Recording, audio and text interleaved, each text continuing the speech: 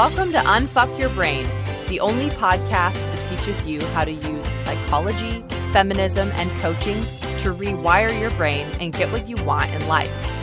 And now here's your host, Harvard Law School grad, feminist rock star, and master coach, Kara Loewentheil. Hello, my chickens. I am so excited to talk to today's guest. In fact, we just started like blah, blah, blah, blah, blah, chatting immediately as soon as we got on. And then we were like, maybe we should like record this and back up so people know what's happening. So, if you are in the online business space at all, you for sure know the name Amy Porterfield. She is a little bit of a legend, I would say, in our own day and age. And she can tell you much better than I do all of her accomplishments and accolades and what she does. But I know Amy as the person who I think I first started following to learn how to grow and scale an online business. And since then, we have talked about a lot of stuff. I went on a podcast she was doing about body image. So we like, it all comes together. We've talked about a lot of different things, and she has an exciting new book out that she's going to tell us about. So, we're going to be talking about her journey, the book. Just give us the overview. Tell us all the things. Oh my goodness. I'm so excited to be here. So, first of all, thank you. And so, I'll just kind of tell everyone just a little bit about who I am. Yep. Okay. Yes, please. Yes. Sorry. When I said all the things, I just meant introduce yourself, not okay, like good. I was like a lecture. Whoa, where do I start? No, I'm okay. sorry. Introduce yourself. Yes. I always say I'm an ex corporate girl turned accidental entrepreneur. I never really sought out to have my own business or be an entrepreneur, but here's what happened. Got out of college, started taking all the corporate jobs, had jobs with Harley Davidson and publishing and sales and all these different things. But my last nine to five job was with peak performance coach Tony Robbins, and I was the director of content content development. That meant that I got to travel the world and work on content that Tony did on stage, like Unleash the Power Within and Date with Destiny. If you know Tony, you know those events. And it was a really good job. I got paid well. I got to travel. I got to work with a legend. Like it was good. However, there was this one meeting where Tony brought in a bunch of internet marketer, online business entrepreneurs, and they talked about their businesses. And for the first time ever, I thought there's a whole other world out there that I know mm-hmm. nothing about. But they kept talking about the freedom they had, like lifestyle freedom and financial freedom. And I thought, I want that. I've never really had freedom. I've always had a mm-hmm. boss from my first boss, my dad, a really strict guy. I mean, we won't get into daddy issues, but there's some there. we'll do a different podcast about that. I feel like a lot of successful podcast. women yeah. entrepreneurs have daddy issues. Yes, I think we need it. You're just the perfect person to get it out of us. And then from fast forward to having a bunch of male bosses, and I realized I want to call the shots. I want to say what I do, when I do it, or how I do it. So that was the first time I ever thought I want freedom really bad. So it was about a year after that that I went through this whole transition of how I'm going to start my own business. So I put together a roadmap to get out of my nine to five job and start my own business. Fast forward 14 years later, I have a business that I've generated over $80 million, helped over mm. 50,000 students, and I have a life that I never ever freaking believed was possible. So I want to help more women discover how to make that transition. So I'm on a mission. I love that so much because I think that like women generally aren't taught to see themselves as entrepreneurs, right? Like Amen. women might be they might be like, "Oh, I'm going to have a small business," you know, or I'm just going to like like I've talked about on the podcast before that when I left my job to again like unexpectedly decide to become an entrepreneur, my big goal was like, okay, in 3 years to make $150,000 to replace my salary. And I'm not at all shitting on 150 grand. Making that first 100 grand is like the hardest in some ways. And Big that's deal. an amazing accomplishment. But it's only funny in retrospect just to see like where the business is now, right? And my business is not at your level, but like now we're doing five and a half million dollars a year to be like, that's and so I thought that 150 was like, you know, so impossible because of what I had been taught, like my vision for myself could be. And one of the things I want to talk to you about, and I'd love to hear kind of how this played into the decision to quit and like the mindset work you had to do, is that I think part of the, I teach this feminist business mastermind. And one of the things I see in my students is like, they can already be making multiple six figures and yet they like don't think of themselves as like good decision makers or good with money or as having the authority to like make those decisions. So I call it like that CEO mindset thing. Yeah. So I'd love to hear like what came up for you as you were thinking about quitting and how do you think that kind of programming played into it? Okay, it played big time into it because I talk about this concept in the book called unbossing, and it's mm-hmm. believing that you have the ability to lead yourself and you don't need anyone to lead you. But because we've had bosses all our lives to the point mm-hmm. that we become our own boss, unbossing doesn't just happen overnight. And so when I first went out on my own, I did social media for small businesses. So I had clients and I had like eight clients. I literally let them all treat me like they were my boss. I was like, yes, sir. Yes, ma'am, whatever you need. But mm-hmm. it gets worse than that. I got to tell you a quick story talking about like thinking that you can't lead yourself and that you need somebody else to boss you around kind of thing. Well, I went out on my own and I was about four years in and I had hit my first million dollar year, which is a really big deal for entrepreneurs, right? Mm-hmm. So I had it like 950,000, so close. So I was doing really well. But at the time I was in a mastermind with a bunch of people and there was this guy younger than me that was just killing it in his own business, doing something similar. And I said, Hey, come help me. Like, how did you do that ad strategy? Or could you get in my business and show me this? And he said, I could do you one better let me be a 50 50 partner in your business and mm-hmm. we together could explode this thing. Mm-hmm. Now, I would like to tell you that I took weeks to decide that I went to my lawyer and said, let's draw up a contract. what would this look like? I crunched the numbers. I did none of that. One mm-hmm. sleep. I woke up the next morning and said yes to him mm. Because mm. I didn't believe I could do this on my own because I felt like I wasn't good enough, that I had almost made a million dollars, but I still didn't really know what I was doing. And this is all a fluke. Mm-hmm. So I mm-hmm. said yes. And for the next few years, we crushed it together. We did really big things. It really helped my business grow. And then one morning I woke up and I was miserable and realized I literally am this guy's employee. Like mm. something goes wrong. I look to him like, are we going to be okay? What should I do? Mm. Do you think I should do this or should I do that? We'd get on a meeting and I'd get off the call with 20 action items. He'd have zero. And this uh, is wait, pa- we got to you just pause. That is like the story of right. So many women in so many even high level roles. Like, and if you're listening to this and you're not an entrepreneur, it almost doesn't matter. Like no. people are doing that in their day job also of like you take all the action items and the dude gets off the call and it's just like, okay, well, back to my work day. Like, why did I let that happen? It blows my mind. But I went back into employee mode like that. Mm-hmm. And I mm-hmm. tell this story, and this is the one story I didn't want to tell because I actually when I told him I wanted out, I almost lost my business because we could not agree on what I'd have to pay him to get my freaking business back. Mm-hmm. So it was mm-hmm. disastrous for a year.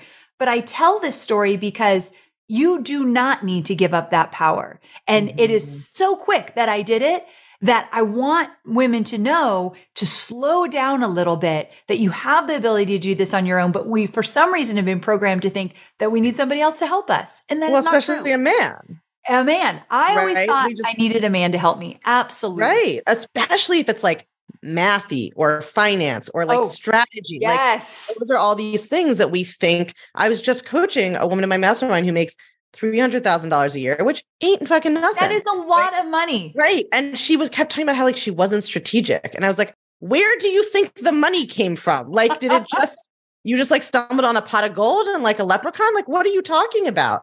Right. But that's how women are socialized to think. And at that bossing, one of the things we talked about at that meeting was I was like, okay, if you were an employee who had been hired to do your job, would you be doing it any differently? And they were all like, oh my God, yeah, I would be doing this job so much better.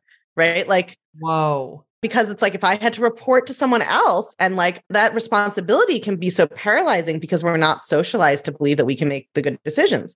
I mean, I still do it. Like I often will type something up to my mastermind and at the end I'll be like, why am I fucking asking them this? Delete this and make this decision. Like, what are you doing? You don't need their opinion on this. Like, oh. obviously, it's great to have colleagues, and there's nothing wrong with having a business partner when you've thought it through the right way. It's as always, it's like not the action, it's the mindset. I love that you just brought this up. I have a team of 20 full time employees.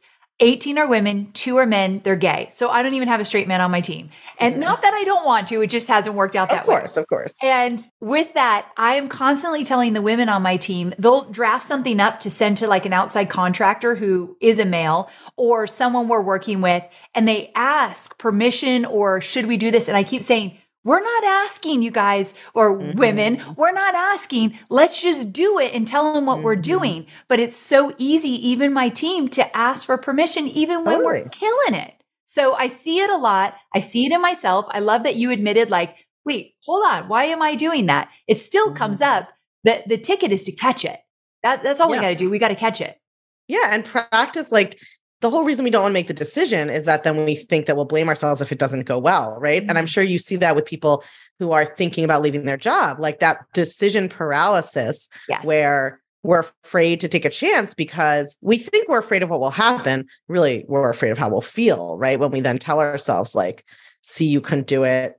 Your father was right, or what not my father. He was Right. he was an entrepreneur too. But you know, so we kind of sort of talked about that the biggest mindset hurdle for you, it sounds like, was that unbossing, which is such a great term of like claiming that for yourself. You wrote this thing in the book that I just love because I'm a big sticky note proponent also for thought work about how you'd quit your job and put it on your bathroom mirror. Yeah. So I'm just curious, like, what do you think that did? I'm I'm constantly telling my students like write their thoughts on post-it notes and put them up around the house. So I'm always glad when somebody else Absolutely. is into I sticky love notes. That. I love that you do that as well. This was a big one for me. Number one, I had golden handcuffs, meaning I had a really good Mm. job where I could make a lot of excuses why I should stay. And I knew I didn't want to stay, but I could easily, it was like a sexy job to get me back into. so I, I set the date, put it on a post it, put it on a mirror where I saw it every day. But then one thing I didn't write in the book that I should have is when I would look at that post it note, I would say, what's one thing I need to do today to move me closer to that? Mm. Like the six months of when I decided, okay, I'm actually leaving on this date to when I actually left was six months.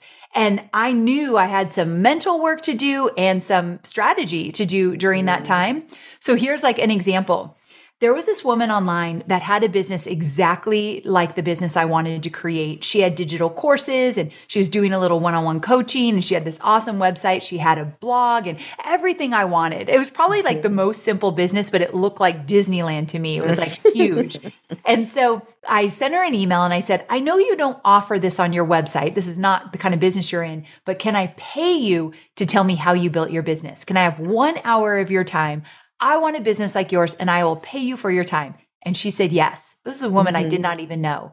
And so at my lunch hour, when I was still in the office, we had really thin walls. I hid under my desk because I had a little office and I'm whispering to her, like, okay, so how did you get started? Did you have uh-huh. money? What did it look like? How did you get your first client? And she told me everything. This is why I love women. She was mm-hmm. like, here you go. And she was so mm-hmm. gracious with her time, which is why I wanted to write a book to be gracious with all the strategies I know work so I can mm-hmm. map them out for a woman that comes after me. And so I did things like that every day. I listened to podcasts, bought courses, watched YouTube videos because I wanted to be prepared when I left. The secret is you're never really prepared, but I wanted to do as much as I could. Yeah. So let's talk about some of the like we did talk about one of your kind of big pitfalls you experienced, but let's like back it up and talk about that like first year, which I think Mhm. is so I so often have students where I'm just like they're in so much drama and suffering, right? About a business that's like actually going okay. I'm just like, just hold on. Like it's gonna be, it's like watching a kid get really frustrated when they like fall down can't walk, you know, something or tie their learn to tie their shoes where you just know like oh you are actually where you need to be and like in six months it's going to be fine and a year it's going to be amazing but it's so hard because i think like we all did you look at the people who are succeeding and then you like look at where you are in the beginning and you're just like i don't know it's supposed to look like that somehow i'm supposed to make 20 million dollars overnight i don't know how Right? I don't know. like, i'd love to hear i think and i think it really normalizes like when we talk about failures so Mm-hmm. i'd love to hear like what do you think was the biggest mistake you made in your first year of business and how you handled that without letting it like some people make one mistake and then they're like derailed for the next five years right and Oh, you yeah. just were able to keep going what was that like I think my biggest mistake that I made in that first year of business was comparing myself to everybody else. And Mhm. we all know that when you compare yourself to someone on Instagram, you're comparing the back end messiness of your business to the front end shininess of theirs. Like Mhm. it's not true. And so at the time when I came on the scene, everyone seemed to be making tons of money, like $100,000 a launch, 200, 300, a million. So I thought I could at least make $100,000 my first Mhm. launch. Le- looking back now, I'm like, oh, that's so cute. That's like so cute. oh sweet amy that's Right? not how that so works sweet. I really believed it. So, with a list of 600 people that I never emailed. So, uh, I don't know really how I You're thought like, I, I, don't need to do the math. I'm just, I have faith. This is just Yeah, going to somehow. it's going to happen. it. A little sprinkle a little magic dust on it's going to happen. So I did my first launch and made Mhm. $267. That's how much I made. The product Mhm. was 297, but when you backed out my expenses, which was a few thousand dollars, I didn't sell that many, a few thousand dollars in expensive, I made $267. I Mhm. cried for an entire week. Every day I got up and started Mhm. crying. I thought I am worthless. I am not cut out to be an entrepreneur. I was crazy thinking that I could leave that job Mhm. and do something else. And I'm going to have to grovel back for my nine to five. I was convinced. And the Mhm. saddest part is that everybody new in business is going to crash and burn in that 1st year. Mhm. There's no way you're not going to have a crash and burn. Now, if you fast forward to the end of that year, I made just as much as I made in my corporate job. That first year, that's a huge Mhm. feat, like just to Mhm. cover your salary. But you're Oh. right. In my head, I was a total loser. I was not doing well. Mhm. It was a mess, but it wasn't. I was just trying to figure out my way. Mhm.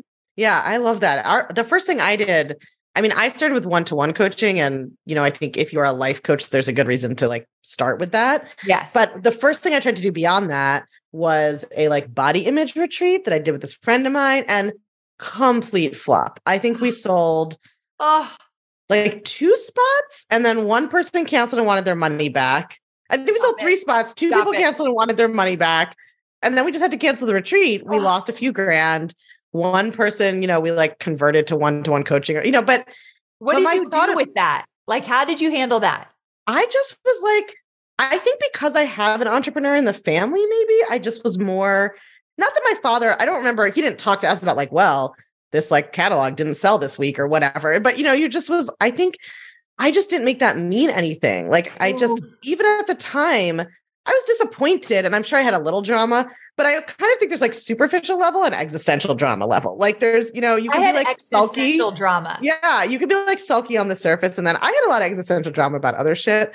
But you know, it just was like, oh yeah, I remember that I did it with somebody else, and it definitely felt like her brain had a much harder time with it, making it you know mean something. Maybe it helped that I had started being able to sell one-on-one coaching, so it wasn't like literally the first thing I did. But Yeah. so many people think, and I think the other premise people have. So people have two premises. One is successful people have never failed. And then other people who like think they're being more realistic are like, I'm sure successful people failed like at the beginning, but then then they stopped failing. So I would love to hear about that because I launched three things this past year that didn't sell that I had to like one we just canceled, one we like you know got it over the finish line but it was a grind like one Oh. this shit happens all the time all along the way. Time. Okay, so I'm 14 years in, or at the time of this recording, early 2023. However, in 2021, which is essentially feels like just a year ago, And also I- 100 years ago somehow like Exactly. at the same time. 100 years ago or yesterday, I don't yeah, know. one of those two. One of the worst years. Like I always say, the worst year of my business was when I got out of the partnership and thought I was going to lose my business because we couldn't agree. The second worst time was 2021. I would do launches and everything that had been working before was not Mm. working anymore. And I felt like I had lost my edge. And I'm in my 40s. So I thought, I'm too old for this. Like these girls are coming up, they're young. Yeah, that is socialization. Also, men in their 40s are never like, I'm too old to be valuable. Never. But that's like women are programmed to think in their 40s, like you're as good as dead. Yes. I started thinking like I'm a has-been. My strategies don't work anymore and these things aren't going to sell. It was like one launch after another. I was not hitting goals. And I really did. I have to be careful. You know, I work with a good friend of yours who's a coach of mine. I can quickly go to, I'm a loser. This, Of course, I am yeah. not cut out to do this. And I just thought, okay, this is going to be the end of me. Thank God I get the support I need. I have a therapist. I have a coach. I have great peers in my Mhm. life. And I had to finally reach out to them and say, like, I am having a year. I am stuck. So yes, this is 13 years in and I had one of the worst years of my business. 2022 though, because I did the work on myself mentally and physically, like got Mhm. my body in a good place for energy and my mind in the right place, I had an amazing year. So it's not like it's the end all be all, but yes, I still have those challenges. I still have failures. Yeah, that's so important for people to hear because I think what paralyzes people so much from making any big decision like quitting your job, right? And going is like their thought is like, what if I fail? And your thought just needs to be like, for sure, I'm going to fail some For of the time. sure. Yeah. For sure, it's going to happen. Let me prepare for how I'm going to handle that when it does happen. Yes. Right. Like it's definitely going to happen. If you let go of one myth from this podcast, like let go of the myth that there is any scenario in which you quit your job, start a business, and you never have to feel bad and it works out perfectly forever. That's never going to happen. If someone believes that, our work here is done. And you know, I love that you work with women who are building businesses and doing all these things because that's another thing I would change in my early years. I wish I had a coach. I was in masterminds and I always had a guide, but I never had someone to talk to personally. Mm-hmm. That would have changed everything for me. I would have believed in myself in a whole different way. Oh my God. If I wasn't being aggressively coached by Brooke during the first two years I was doing my business, like coach training and master coach training, I mean, oh, I just, yeah, I think everything would have taken like 10 times as long, you know? absolutely. I just had so much bullshit. I had this whole insane thing where I refused to call myself a businesswoman. I kept being like, like because I was, you know, my my brain was like a total mess. This is why I, I always say like, like Brooke's always like she wants to be an example of what's possible, and I'm like, I want to be an example of what's possible with a half managed mind. Like that's So that's my good, though. goal is is to be like you don't need to get it all figured out i came from the nonprofit world i had this whole thing about like you know business is bad i was like i'm gonna start a business but keep all my thoughts about how business people are bad like i thought that was a good plan and i just like did not yeah i had a whole i was like business women like wear gray pantsuits like that was some idea i had of does sound like when I think of a businesswoman. yeah i mean we don't call ourselves that so much Yeah. i guess corinne has like no bs businesswomen but Yeah, sure. I'm curious to hear like what are because you obviously have so many people come through your programs who are like getting ready to quit the job or trying to quit the job or like working up to quit the job. Yep. What are the common mindset challenges you see in kind of your people when they are considering leaving their current job to create their own business, which is what your book is all about, right? How to do that. Like what are the most common things you see come up? So the number one thing I see come up is a little bit what we already touched on, this idea that they need someone else to lead them Mhm. or to step right back into being an employee even when they get out in their own business. I have a lot of coaches, consultants in my world and I see that happen a lot. Another thing I see happen is superwoman syndrome Mm. where they think I have to do it all alone. They'll say, Mm-hmm. I don't have any money to hire anyone. I don't have the resource to do so. I've got to do it all alone. And I always say there is no badge of honor in doing it Mm-hmm. alone. So of course, in the very early stages, it's just you. But the first thing I want people to do as soon as they can is let's hire a virtual assistant. Let's get Mm-hmm. you a little help because another challenge I see is instant burnout. That Mm-hmm. first year, they have hit it so hard. They've said yes to everything due to FOMO or desperation. I hate to say this, but we all have a little desperation in our 1st few Mhm. years of being on our own, Totally. right? And so we start saying yes to things we shouldn't. We kind of lose ourselves in all of that, come up for air and realize you haven't showered in three days and you literally, your business feels like it's on fire. Burnout is very real in the very beginning stages of entrepreneurship, but it doesn't have to be. So mm-hmm. looking to say, who can I hire? Who can I make a trade with? My first assistant was five hours a week. I wasn't sure if I could even afford that, but I was desperate and I waited too long. So that's mm-hmm. another thing, the superwoman syndrome and this idea that you are an employee even when you are on your own, I think shows up a lot.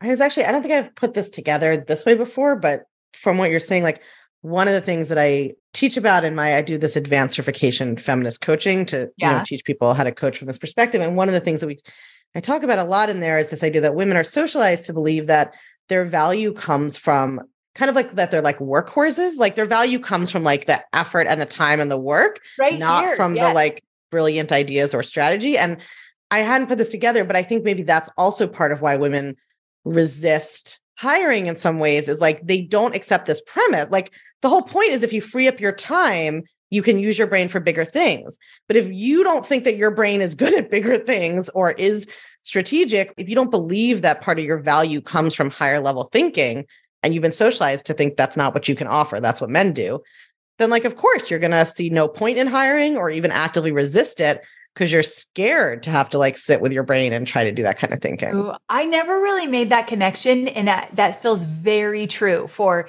where I was and for many of my Mhm. students as well. I really do believe. And so also we're conditioned, you know, how we were raised, our values of how we were raised will play a huge part in how you navigate entrepreneurship.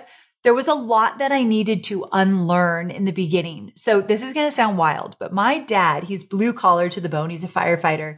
And he used to tell me when I was young, hard work is work that you're doing that you don't want to do. So if mm. you're doing work you don't want to do and you're doing it well, you are a hard worker. And there was a badge mm-hmm. of honor in my mm-hmm. family to be a hard worker. That is so common. The idea that work only counts if you hate it. Yes. What is that? That is the mm. saddest thing I've ever heard. I didn't even know I believed it until I started working really hard and was proud of myself and hated the business I created. yeah, that's great. Yes. That, yeah, that that's such a thing. It's like I don't get credit for working hard unless I'm miserable and I hate what I'm doing. And like women had also are socialized, I think, to see like anything that comes to them easily is somehow like not valuable or doesn't count. And only the things that are hard for them like count as work, which is like also so bizarre because we're like, I want to be an entrepreneur to do the things that I like doing. And then we're like, no, none of those count. Only I mean, come on. Count. And, you know, I have to admit, you know, that saying, let it be easy. Mm-hmm. I have a good friend, Susie Moore, who has a podcast in a book called Let It Be Easy. And I hear it and I want to believe it. And I mm-hmm. tell myself it all the time. But you just hit it on the head that if it's too easy, I should be finding something else to do. Like mm-hmm. it should be hard for me. That means it matters. That yeah. is such bullshit. It is not true whatsoever. And here's the thing if I could go back 14 years and I was just starting my business, this is for anyone just getting started.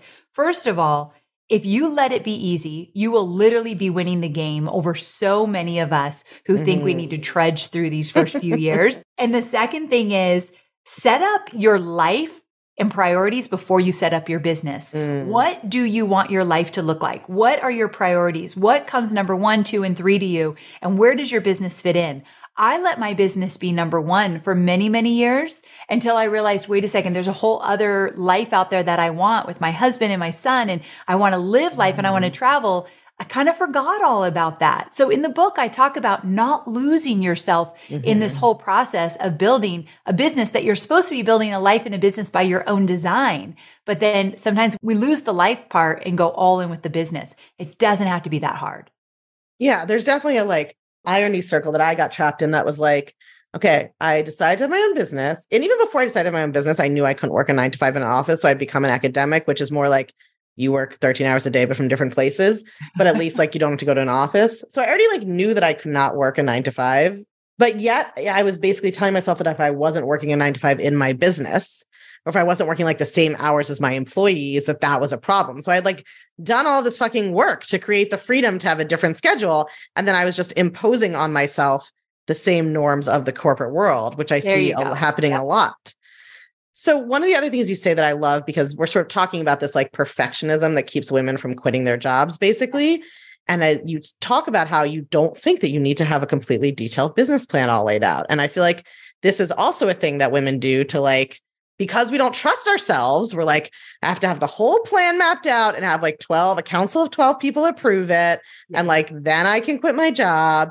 Because we don't trust ourselves to like figure shit out on the fly or whatever else. So, can you let them hear it from a business expert? Why is it yes. not important to have a fully detailed business plan? First of all, I have never ever seen a business plan in my life, so I am proof that you absolutely. We're do. like we actually don't know if you need one because we yeah. don't know what they look like. Maybe I don't know what one. it looks like, but I sure as heck know I didn't have one. And so many of my peers did. I when I wrote the book, I called many. Like, did you have a business plan when you started? Mm-hmm. No one did. No. Now, of course, you want to plan. Who do you want to serve? How do you want to serve them? Right. But I promise you, the business you create in the beginning will look dramatically different in like five years from now. Like you're going to find your way because action creates clarity. All I want you to do is get into action and do something. Mm-hmm. And then the action you take will lead you like, oh, no, that didn't work or that works really well. Let's go down that road even mm-hmm. more. And people will share with you what they love and it will morph into something else. So let me give you an example. I started out with doing social media for small businesses, hated it hated having all those clients, hated mm-hmm. doing the mm-hmm. work for them. So I decided I'm going to create a digital course. I created a digital course and I made $267. So that worked really well. Mm-hmm. At that point, I could have said either I'm not cut out for this or I better go back to just doing all my clients. But instead I said that didn't work, but I've seen it work from a lot of yeah. other people. I'm going to try it again. The next time I did it, I made $10,000. dollars Mhm. Not huge, but enough to keep me going. on the right momentum. on the right momentum. And the course was about social media. But then I launched one more course, did really well. Like I hit $30,000 in one launch. My whole life was changed. I wanted to roll around naked and all that money because it was like the most money I'd ever made. Mhm. And that's when people started saying, You do these courses really well. Like, how are you doing this? Would you teach me how to do a course? Mhm. Fast forward, and that is my bread and butter. That's how I've made as much money as I've made. I teach people how to create digital courses. I would have never landed there Totally. if I didn't just start somewhere. So that's the one thing. You've just got to get started. Your business will look dramatically different. So I always bank on that. It's that action creates clarity. Well, it's like parenting. It's like you can think you have a whole theory about how it's going to work. And then you start interacting with an actual human child and you're like, well, that was a lot of nice theory I had that like doesn't work at all or like doesn't fit this child or whatever else. Yeah. I mean, I thought I was going to be a coach for lawyers and then I was going to do a lot of work with like law schools and law firms. And then, you know, I did one thing with a law firm and I was like, that was terrible. I definitely don't ever want to do that again. Exactly. So So you had to do it. You just don't Yeah. even know. So you've got to leave a lot of room for experimentation in the first few years. And a lot of women will say, if you're experimenting and it's not working, you're failing. So it's really, we really quick go to this didn't work for me. But that's how it's supposed to work. It's giving you answers to what's your next move. It's giving you feedback. So look at all of that as feedback in the first few years. You will get a whole lot farther. Totally. I'm always telling my students, like, think about those guys who like get $20 million in venture capital funding without even having a revenue plan. Yeah. Oh, yeah. So that's right. We were talking about the business plan. So let's talk about a little bit more.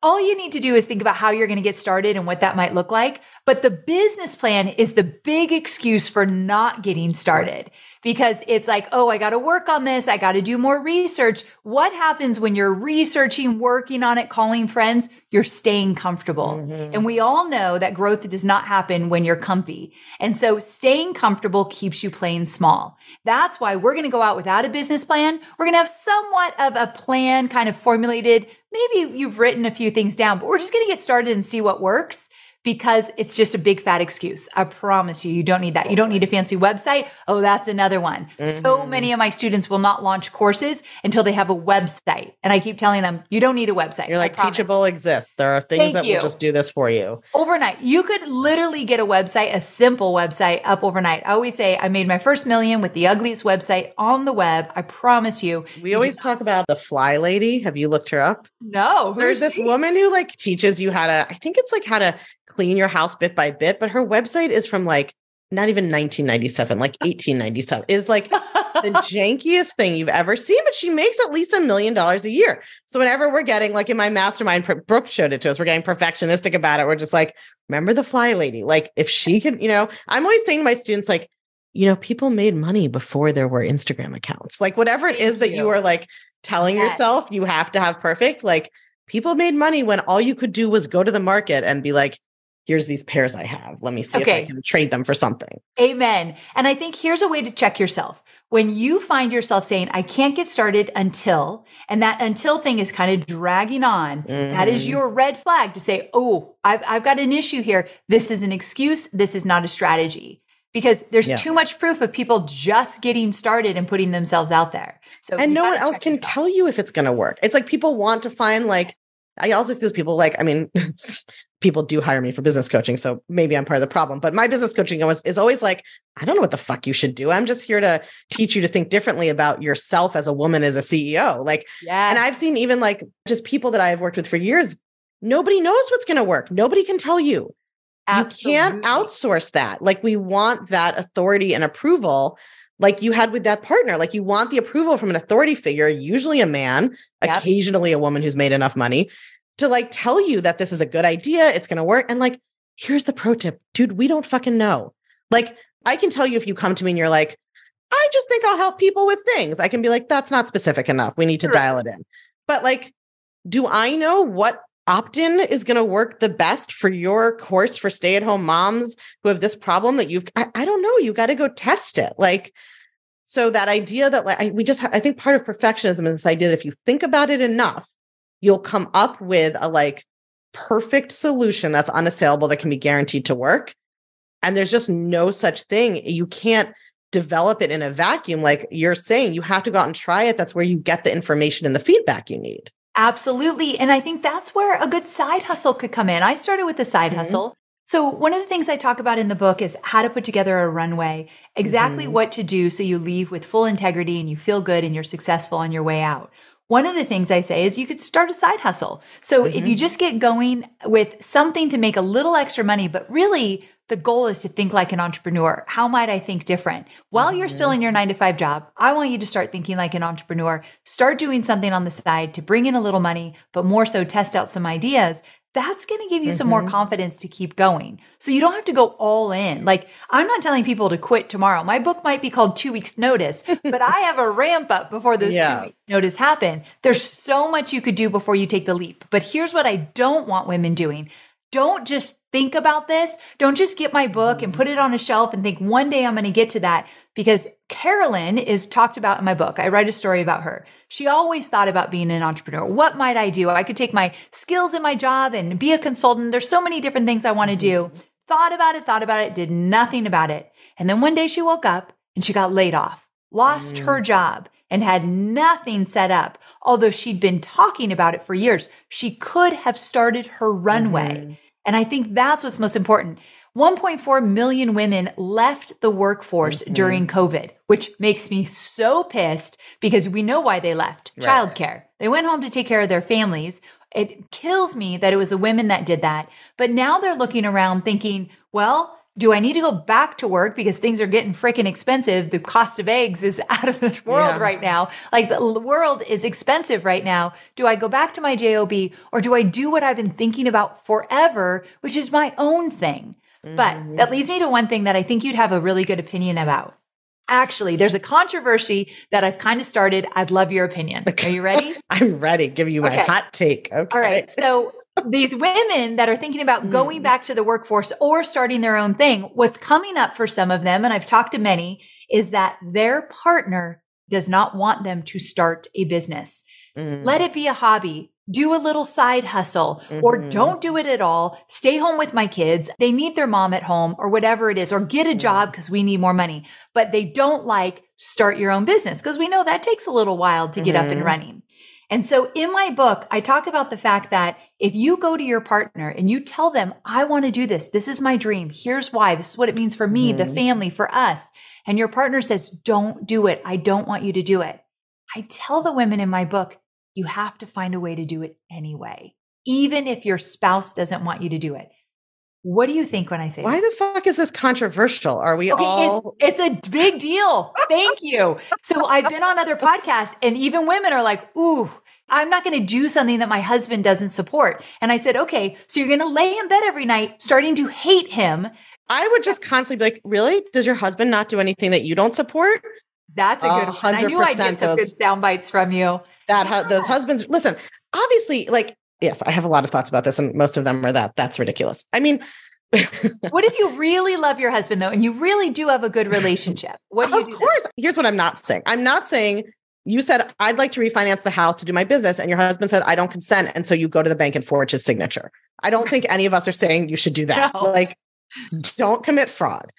But like, I think this really gets to something that is so important when you're trying to leave a job, which is I saw this in myself so much where I was rejecting the norms of my family and the people around me, but I wanted them to approve of my decision and like support it and understand it, which is like completely irrational. Yes. You can't be like, I'm like going to law professors being like, so I really hate this thing that you do and love. And I think I'm going to leave it to start a business as a life coach.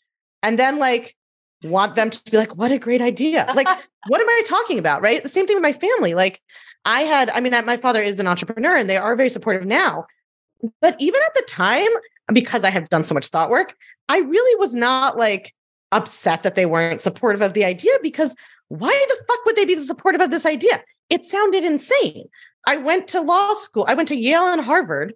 They luckily were able to pay for my law school education, so I didn't have to worry about loans. Like, wow.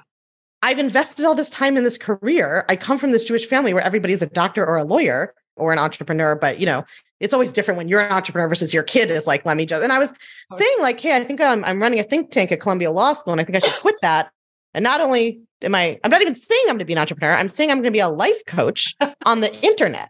Like, That why would they have, seem wild? why would they have been like, yeah, good plan. I don't see Yes. any pitfalls with this at all. This sounds brilliant. Like, so this, I mean, I, but that's the thing. It's like women aren't socialized to believe in themselves and their vision.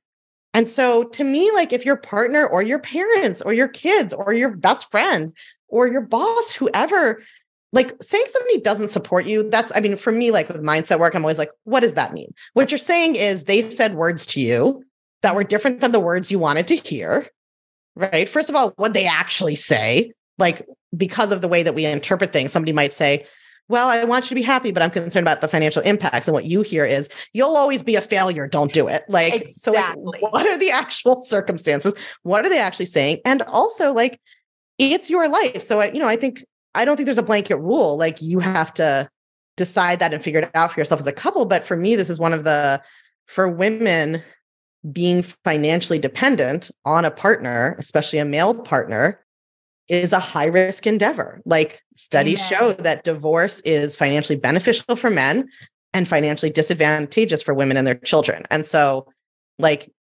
yes, I think you should, you know, again, like, don't mortgage the house without your partner's opinion of any gender. But I think that if somebody is quote unquote not supportive, first of all, you got to get really specific about what that means. And then, second of all, like, right, maybe you're going to do it a different way. Maybe it will be partly a side hustle. Maybe you are going to be like, okay, I understand. I will keep my job, but I'd like you to agree to like take the kids every other Saturday instead of playing golf every Saturday so that I can spend eight hours working on my business, whatever it is. But like, I just think a lot of people who say, like, I can't do something my husband doesn't want me to do, their husbands probably do shit they don't want them to do and that they think is fine.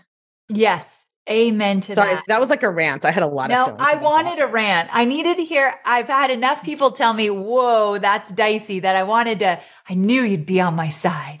That's crazy. It's not like you're saying, yeah, like you're not saying they said you can't borrow the car, so you steal the car. You're saying like your partner doesn't think it's a good idea. And I think you should find a way to do it anyway. I mean, find a way doesn't mean, again, like quit your whatever. But this all comes back to the same thing to me, which is like if you really believe in yourself and in your vision, then you will want to figure out a way to do it and you will be okay with the fact like a marriage is a long thing. There are going to be times that like one of you doesn't like what the other person's doing and you have to work that out. But I mean, honestly, to me, if you have a dream like this and you have come up with some kind of plan that makes sense, and your partner is like, no, I think you should be a stay at home mom even if you don't want to, then I'm like, I'm sorry, why are we staying married to this person? Like, that what are was we doing? another thing that if they're going to not want you to follow your dreams here, you do want to look around and say, is there any other places this is coming up in our marriage where I want to go for something or I want to do something that I've been, the idea has been squashed. But let me tell you, I love your example because your example of going from something very prestigious to something people don't understand, you making that happen shows other women they can do that. And I got to tell you real quick about one of my students, Rachel. She was a pharmacist. Her family always wanted her to be a doctor or pharmacist or something like that. So she did it and she did really, really well, but then started to get burned out and started to hate her job, Mhm. especially during COVID. That was when she's like, I, I'm out. But she couldn't just jump ship. So she started to buy real estate and do luxury B&Bs. And it Mm. started out really slow. She did it on the side. When it started to take off, she told her husband, I want to do this full time. He's like, no way. You are making bank as a pharmacist. You are solid. Mhm. You are in a foundational job. Like you've got this. He thought she had lost her mind.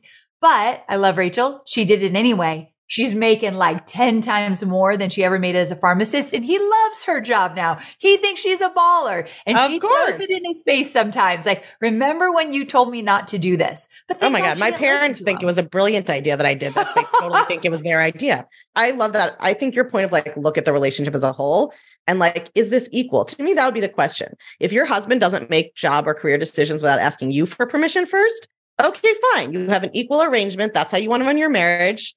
Figure out something on the side.